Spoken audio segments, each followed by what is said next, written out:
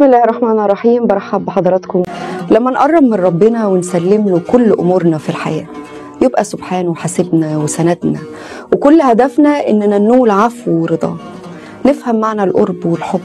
وإزاي نطمن قلوبنا وإحنا دايما معاه. مفيش قلق ولا خوف من بكرة. طول ما إحنا دايما في حماه نخاف من زعله. لو فكرنا يوم نخالفه أو نغلط ونعصاه. ولما نيجي نقرب أكتر ونسجد له في كل صلاة هندعي ونقول يا رب اكتبنا من عبادك المتحبون في جلال الله. مين هم المتحبون في جلال الله وإزاي نكون منهم؟ ده اللي هنتكلم عنه وهنقوله النهارده إن شاء الله مع فضيلة الشيخ الدكتور مصطفى عبد السلام إمام وخطيب مسجد سيدنا عمر بن العاص وإن شاء الله في انتظار تليفونات حضراتكم وأسئلتكم. فضيلة الشيخ أهلا بيك ومنورني أهلا وسهلا يا أستاذة لمياء واهلا وسهلا بالسادة المشاهدين. يعني ربنا سبحانه وتعالى يوم الموقف العظيم هينده ويقول أين المتحبون في جلالي؟ هم مين؟ أعوذ بالله من الشيطان الرجيم. بسم الله الرحمن الرحيم. أحمد الله تعالى إليكم وأصلي وأسلم على رسوله الكريم. وأشهد أن لا إله إلا الله وحده لا شريك له.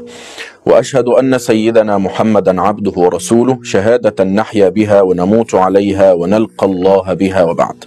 أستاذة لميا أعظم عمل يقربنا لربنا سبحانه وتعالى هو الحب في الله.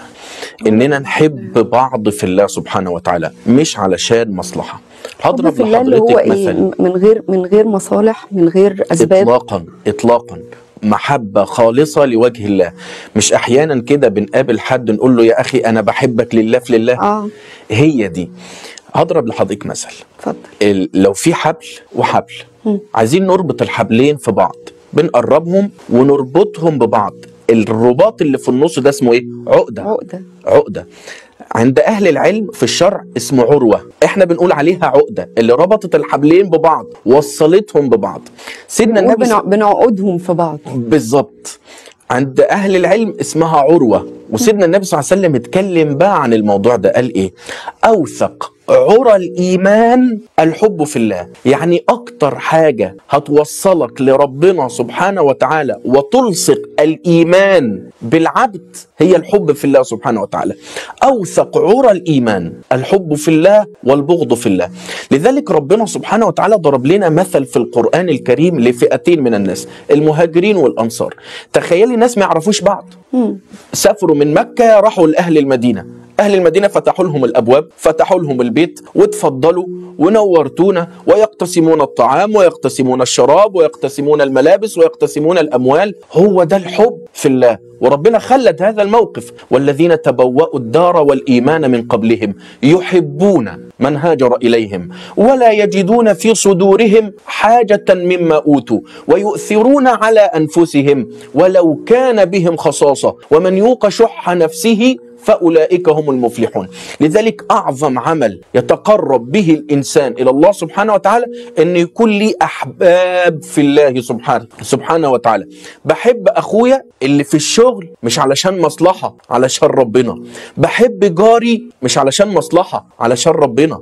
بحب مديري في العمل مش علشان مصلحة علشان ربنا. لذلك سيدنا الحبيب صلى الله عليه وسلم. قال كلام مهم جدا. في سبع أشخاص ربنا هيظلهم في ظل عرشه. في مقعد منهم الاثنين حبوا بعض في الله. مش علشان مصلحة. ورجلان تحاب في الله اجتمع عليه وتفرق عليه. إحنا محتاجين دي دلوقتي. محتاجين ندور على حد صادق نحبه في الله. أنا بسأل عليها لله. بطمن عليها لله. ب... بشيل معاها الهم لله. ما ممكن واحد نايم وشايل هم صديقه. صح. هو ده الحب في الله. نايم بس شايل هم صديقه. إزاي؟ ده عندها مشكلة. أنا مش جاي لي نوم. أنا عمال أفكر والله من ساعة ما حكيت لي. تتحل إزاي؟ أقف جنبها إزاي؟ أقف جنبه إزاي؟ بدون مصلحة. هو ده بقى الحب في الله. الذي قال عنه النبي صلى الله عليه وسلم أوثق عرى الإيمان الحب في الله. إحنا محتاجين بقى ندرب نفسنا على الحكاية موجود دي بنسبة قد إيه دلوقتي في الزمن اللي إحنا فيه ده بين الناس؟ هو لا شك إن هو موجود بصفة نادرة. آه عند بعض الناس. وإحنا مفتقدينه في هذا الزمن. لكن موجود حتى لكن- لو بنسبة بسيطة. بالظبط لكنه موجود. كتير من الناس آه، ممكن يتفانى علشان آه، صديق ليه بيحبه في الله يسافر له من دولة لدولة عشان يسأل عليه من محافظة لمحافظة عشان يسأل عليه. لو وقع في مشكلة ما ينامش ما يجلوش نوم. غير لما يقف جنبه ويحل معاه المشكلة. موجود. وسيدنا ده, ده في ساعات ناس بتعرف بعضها في الموقف بس يعني ممكن لا قدر الله حد ماشي في الشارع تعرض لموقف أو تعرض لحادث ففي حد وقف له فسنده فوداه المستشفى ففضل جنبه لحد ما ربنا شفاه فبقوا أصدقاء فهم تعر- تعرفوا في موقف ما فيهوش مصلحة. وتدوم بقى. يعني شايفة المعرفة كانت نتيجة موقف وتدوم ليه؟ علشان ما كان لله دام واتصل وما كان لغير الله انقطع وانفصل أنا بح... لو حبيت حد علشان مصلحة مجرد ما تنتهي المصلحة أنت من طريق وأنا من طريق. صح. لا أعرفك ولا تعرفني. أنا كنت بتودد إليك علشان كان ليا مصلحة عندك. ما في ناس كده بيبقوا معروفين بالاسم. لما تلاقيهم آه، رقم تليفونهم عندك على الموبايل تعرف إن هو بيكلمك عشان عايز منك حاجة. بالظبط. مش للاطمئنان عليك. بالظبط. علشان كده الشرع قال يا جماعة ما يصحش لازم يكون عندنا أصدقاء نحبهم في الله سبحانه وتعالى. وسيدنا النبي صلى الله عليه وسلم اتكلم على حاجة مهمة جدا الناس اللي بيحبوا بعض في الله دول. لما قال إن في مجموعة أشخاص هيجوا يوم القيامة قاعدين على منابر من نور تخيلي بقى معايا حضرتك يوم القيامة اللي هو يوم مقداره خمسين ألف سنة وحرارة الشمس والعرق وأهوال يوم القيامة. لا في مجموعة أشخاص بقى مش هيقفوا في الليلة دي خالص ده واقفين في كورنر لوحدهم على منابر من نور. تخيلي معايا الموقف. منابر من نور. لبسهم نور. ووجوههم نور. يغبطهم الأنبياء والشهداء. تاني. منابر من نور. لباسهم نور. وجوههم نور. يخبطهم الأنبياء والشهداء. الأنبياء والشهداء بيقولوا مين الناس الجميلة المنورة دي؟ صفهم لنا يا رسول الله. قال هم قوم تحابوا في الله. يا سلام. دول مجموعة أشخاص جروب كده مع بعض بيحبوا بعض في الله مش علشان مصلحة.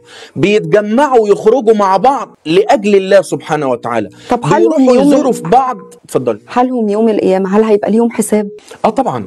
يحاسبون لا شك. يحاسبون لا شك. لكن اصلنا النبي بيتكلم على مجموعة أشخاص لا يحاسبون. سبعون ألف من أمتي يدخلون الجنة بلا حساب ولا عذاب وهذا ملف آخر. لكن المتحبون في الله نعم يحاسبون. لكن لهم درجة عالية عند الله سبحانه وتعالى لدرجة إن الأنبياء والشهداء يغبطونهم على هذه المكانة ويغبطونهم على هذه المنزلة. استاذنك ناخد التليفون. مدام مريم؟ السلام عليكم. عليكم السلام ورحمة الله وبركاته. اتفضلي عاملة إيه؟ أنا الحمد عندي لله. 22 سنة. أهلا بيكي يا مريم. ازي حضرتك عاملة إيه؟ الحمد لله يا حبيبتي. آه، أنا اتفضلي بحب حضرتك جدا بجد. يا حبيبتي ربنا يخليكي يا رب. كتير قوي حضرتك تطلعي معاهم. ربنا يخليهم يا رب. اتفضلي يا بس مريم. أسأل حضرتك بس آه، أسأل الشيخ عن أنا بصلي قيام الليل بس أنا بقرأ في المصحف يعني بخلص ورد يعني آه يعني مثلا سوره البقرة آه، آه، أقرأ في كل ركعة أربع صفح. هل آه بت... بتقري بتقري الورد اللي عليكي وانت بتصلي. آه ده هل تمام. ولا حرام إن أنا ما أقرأش من المصحف. حاضر. بس هسألك سؤال مهم جدا اللي بتصليه بالليل ده قيام الليل ولا صلاة العشاء؟ لا قيام الليل. بس. يعني أنت بس. بتقري الورد اللي عليكي في قيام الليل لكن في الصلوات العادية الفرد ما بتقريش حاجة من المصحف. لا لا طبعا. بقرأ يعني كل الله احد اللي هي الصور القصيره تمام. طيب حاضر. عندك أي سؤال تاني؟ يدعي لاخواتي الصبيان اخواتي أنا بنت وحيده على أربع صبيان. عايزة بس يدعي لهم بالهدايه وإن ربنا يكرمهم يا رب. إن شاء الله. أنا بحب إخواتي جدا جدا جدا. ربنا يخليكم لبعض يا رب. حاضر يا مريم تابعينا. ناخد مدام فاطمة. عليكم. عليكم السلام ورحمة الله وبركاته. اتفضلي. ازي حضرتك؟ الحمد لله بخير. أهلا بيكي. ربنا يخليك. بس أنا أنا كنت عايزة أسأل بس سؤال. اتفضلي. أنا من العيد الكبير وحماتي عاملة معايا مشاكل. أنتوا عايشين مع بعض في بيت واحد؟ آه بس أنا يعني في شقه وهي في شقه. آه هي أنا هي فوق هي تحت وأنا فوق في شقتي. بس أنا أول ما اتجوزت أنا بقالي ثلاث سنين بس أنا معاها كويسة جدا. يعني أي حاجة بتحتاجها مني أنا مش بقصر معاها في حاجة. مم. واصلا أنا زوجي يعني ظروفه على قده فانا برضه بشتغل وبساعد جوزي. تمام. فمن العيد الكبير هم عملوا معايا مشكلة إن بنت بنتها شتمتني. هي يعني في ثانية ثانوي بس هي غلطت فيا إن هي أنا خايفة عليها تطلع بره. يعني هي كانت عايزة تطلع بره ومحدش كان موجود في البيت. فأنا قلت لها ما تطلعيش بره لما يجي حد. مم. غلطت فيا البنت وشتمتني. فاتصلت على حماتي واتصلت عليهم هم مش كانوا موجودين. راح أخو جوزي راح شاتمني ب- بأهلي. مم. قال لي ما تقوليش قال لك إيه صوتك مم. لا هو ما أنا عارفة بس هو قال لي آه، ما تعليش صوتك يعني وغلط فيا. انت كنتي بتزعقي لا أنا ما زعقتش فيها البنت زعقت وقعدت تعلي صوتها أنا خدت بعضي وطلعت لا هو بيقول لك ما تعليش صوتك معنى كده إن انت علي يعني هو لا هو بيقول ما تعليش صوتك عليها وراح شاتمني بأهلي مم. أنا بشتكي له بقول له يعني ما ينفعش إنها تغلط فيا وكده. المهم أنا جبت عملت قعده جبت يعني قرايبي وكده وعملنا قعده برضه مش احترموا أهلي مم. غلطوا فينا وشتمونا وكده. وحماتي قعدت تشتم فيا. وده كله من غير سبب كل اللي قاله لجوزي إن أنت لا تطلع يعني لا انت المفروض تطلق مراتك لا تضربها لا تغضبها. ده ده أخو جوزك اللي بيقول لجوزك كده. وحماتي نفسها و... وأختي جوزي وكلهم وحماية نفسه. أنا قلت له اسمع مني يا عم وايه اللي حصل. راح قال لي لا ما اسمعش منك حاجة. آه، البنت بتقول إن أنت اتهجمتي عليها وإن أنت عملتي وإن أنت شتمتي وقلت ألفاظ مش كويسة وخارجه وده ما حصلش مني والله خالص. مع إن كل الناس اللي قعدوا يسمعوا صوت البنت جيراننا قالوا أنت محترمة ومتربية إن أنت طلعتي شقتك بابنك. والناس شهدوا كده هم قالوا لا. الناس كدابه بس بنت بنتنا مش كدابة. فأنا زعلت من الظلم ده. أنا ما مشيتش ولا سبت بيتي بس أنا كنت زعلانة إن أنا خدت جنب لوحدي. ما بكلمش حد خالص. لحد دلوقتي؟ لحد دلوقتي. فأنا من فترة من أسبوع نزلت لقيتهم قاعدين فرميت السلام عليهم. مم. فما حدش رد عليا السلام. مم. فأنا دلوقتي أنا نفسيتي تعبانة ومش عايزة أتعامل معاهم خالص. فده حرام ولا حلال؟ طب موقف جوز- جوزك إيه؟ جوزي بيقول لي خليكي في حالك ومالكيش دعوة بحد. يعني جوزك في صفك ولا لا معاهم كان في الأول الاول كان في صفهم هم. قال لما هم حكوا له قال لا خلاص ماشي وطلع كان طبعا عمال يتكلم ويزعق لي وكده. بس جوزي لما سمع من اللي حواليه إن أنا طبعا الكلام ده عمري ما اطلعه لأن هو عارف أصلا أنا متربية ما فيش ألفاظ بطلعها خارجه ابدا. وإن أنا ما ب... مش طبعي لا مد إيد ولا طبعي إن أنا أعمل حاجات مش كويسة. فهو عارف طبعي إيه أصلا وبعدين أنا متعلمة وهو متعلم فعارف حدودي إيه والكلام اللي أنا بقوله إيه. فهو بقى لما سمع إن الكلام اللي حوالين هي بتقول وبتعيد قال لا مراتي مش بتقول كده. قال يعني يعني آم، اقتصارك عنهم مأثر على علاقتك بجوزك ولا هو تمام؟ مفيش مشكلة عنده. هو هو كويس هم بي يعني لو هو بيبقى كويس معايا مثلا ويجي ينزل يقولوا له كلمتين أنت ماشي وراها أنت مش عارفة إيه هو بيزعل. يطلع بلاقيه أسلوبه معايا مش كويس. مم.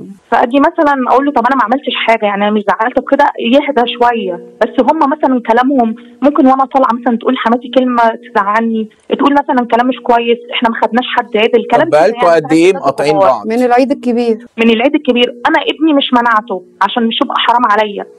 طب ما حاولتيش ما حاولتيش تصلحي الأمور وتنزلي وت... وتوضحي وجهة نظرك سلام عليكم محدش رد عليها لا يعني بلاش أنا سلام عايزة عليك يعني ندخل ونحاول نراضي طب ما أنا أراضي وأنا ما غلطتش. طب ما أنا برضو مظلومة. يعني حضرتك هم مش هم جبروا بخاطري. أنا ما ينفعش إن أنتوا تقولوا كلام في حقي غلط وإن أنتوا تقولوا إن أنا عملت الحاجات دي وأنا ما عملتهاش. طيب حاضر. طيب حاضر. تابعينا يا مدام فاطمه طب خلينا نجاوب مريم الأول. مم. هي دلوقتي بتصلي قيام الليل بالورد ال- ال- من القرآن الكريم. هل ده يجوز ولا لا يجوز؟ هو حلو قوي إن هي ليها ورد من القرآن. ده حلو قوي إن أنا أبقى مرتبط بورد يومي ما نامش غير لما أقرأه. طبعا. دي حاجة حلوة جدا ويا ريت كلنا ربنا سبحانه الليل وتعالى. كمان يعني. ربنا يجازيكي كل خير يا رب. بالظبط. يمن علينا ويبقى لينا ورد من القرآن إن شاء الله يا رب صفحة. من القرآن كل يوم تكون سبب للنور في حياتنا وللنور في قلوبنا وللنور في بيوتنا. يا ريت كلنا نخلي ولو صفحة من القرآن نعود نفسنا عليها قبل ما ننام. لازم تكون يعني هذه الصفحة دخلت في قلوبنا وقرأناها وعطرنا بها أفواهنا أفواهنا لتعم البركة بيوتنا. دي واحد. اتنين العلماء قالوا بالنسبة للفرائض الفريضة الفجر الظهر العصر المغرب العشاء فقرأوا ما تيسر من القرآن. أقرأ اللي أنا حافظه. الفاتحة وما تيسر. لكن ما- قل هو الله أحد. المصحف. أيوة في الفرد لا. بالظبط قل هو الله أحد. قل أعوذ برب الفلق. قل أعوذ برب الناس. قصار الصور يبقى قولا واحدا عند الفقهاء أن صلاة الفرائض لا نقرأ فيها من المصحف وإنما نقرأ ما تيسر لنا من القرآن مما أنعم الله سبحانه وتعالى به علينا من حفظنا. سورة الفاتحة ومعها قصار الصور هذا في الفرائض. طيب النوافل يجوز أن نقرأ في صلاة النافلة سواء كان قيام الليل سواء كان تطوع سواء كان تراويح سواء كان تهجد. يجوز. لي أن أقرأ في صلاة النافلة من كتاب الله سبحانه وتعالى. هي بقى بتقول إن الورد بتقرأه في قيام الليل. فهي عملت حاجتين في حاجة. عملت قيام ليل وفي نفس الوقت قرأت وردها من القرآن. إن شاء الله أخذت الحسنيين بفضل الله طب سبحانه أسأل وتعالى. حضرتك سؤال. هل آه، قراءة القرآن الكريم نفس الأجر والثواب أقراها من المصحف أو إني أقراها من التاب أو الموبايل؟ آه طبعا. نفس الاجر والثواب طبعا لنا بكل حرف من القرآن حسنة. قرأت هذا القرآن هذا القرآن. قرأته من المصحف مباشرة لي الأجر. قرأته من الموبايل لي الأجر. قرأته من حفظي لي الأجر كذلك. استمعت إليه. لي الأجر بفضل الله سبحانه وتعالى. فإذا قرئ القرآن فاستمعوا له وأنصتوا لعلكم ترحمون. يعني مش قادر أقرأ. تعبان. مصدع. شغل كده القرآن الكريم جنبك. نفسي يا أستاذة لميا نعمر البيت بالقرآن الكريم. إذاعة القرآن الكريم لا تغلق من البيت. قنوات القرآن الكريم لا تغلق من البيت. هي مطردة للشيطان. طبعاً، طبعاً. وإدخال. للملائكة. وتحصين. بالظبط لذلك أحيانا الواحد بيدخل البيت تحس إن في شياطين بتتنطط في البيت. الواد بياكل في البنت والبنت بتاكل في الواد وهم بياكلوا في بعض. فين القرآن الكريم في البيت؟ صح. أدخلوا كلام الله بيوتكم. صحيح. أدخلوا كلام الله قلوبكم. أدخلوا الملائكة بيوتكم. بكتاب الله سبحانه وتعالى فالقران الكريم. نور لنا في الدنيا ونور لنا في الآخرة. صحيح. فاطمة بقى تعمل إيه مع حماتها وأهل جوزها؟ والله أنا شايف المشكلة لا تستدعي إن يبقى في. خلاف بهذا الشكل. ون ونعمل قعدة ولو في تفهم للأمور. اولا فاطمة هي خافت على البنت. على البنت. عندها 12 سنة 13 سنة فخافت عليها. ما تخرجيش دلوقتي. فأعتقد يعني كان المفترض من أهل البيت إنهم يسقفوا لفاطمه إنها حافظت على البنت إنها ما سابتش البنت تخرج بدون ضابط ولا رابط وبدون إذن وبدون تصريح وبدون علم الأسرة مم.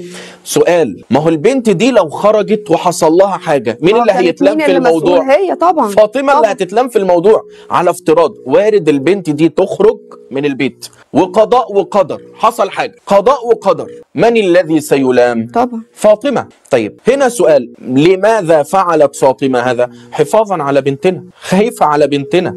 هل جزاء الإحسان أنها أحسنت إلى ابنتنا أننا نطلع فيها القط الفاطس. ده عملت وسوت ونرمي عليها كلام وهي طالعة وهي نازلة ونقوي جوزها عليها ويطلقها يتغضبها. ما هذا؟ ما هذا؟ بس إحنا برضو إحنا بنرد على أساس الكلام اللي هي قالته. لكن إحنا ما سمعناش الطرف التاني. فالرد ده فضيلة الشيخ بيردوا عليكي ده على أساس اللي انت حكيتيه. ده لو هو ده اللي حصل بالظبط. بالظبط. فاحنا هنا بنقول لا كان ينبغي على الأسرة ساعتها في هذا الوقت أن تتعاطف مع فاطمة لأنها حافظت على ابنتهن. طيب ماذا نفعل الآن؟ أنا شايف أن فاطمة تعمل محاولات في الصلح. مرة واثنين وثلاثة وأربعة تعمل محاولات في الصلح حتى وإن أخطأوا في حقها بس علشان خاطر بيتها عشان خاطر ولادها. وعشان خاطر جوزها وهي برضو قاعدة معاهم في البيت. ولا يمكن أن نفترق فأنا أرى أن فاطمة تحاول مرة واثنين وثلاثة والصلح خير وخيرهما الذي يبدأ. بالسلام. بالسلام. صحيح. ونختم وندعي بقى الدعاء الجميل بتاع حضرتك. حاضر عيني حاضر. إني داع فأمنوا. اللهم اشف مرضانا وارحم أمواتنا وتوفنا وأنت راض عنا. اللهم فرج هم المهمومين واكشف كرب المكروبين وقض حاجاتنا وحاجات السائلين واغفر لنا وللأحياء وللميتين. اللهم برحمتك الواسعة عمنا وقنا شر ما أهمنا وغمنا. وعلى الإيمان الكامل والكتاب والسنة جمعا توفنا وأنت راض عنا. آمين.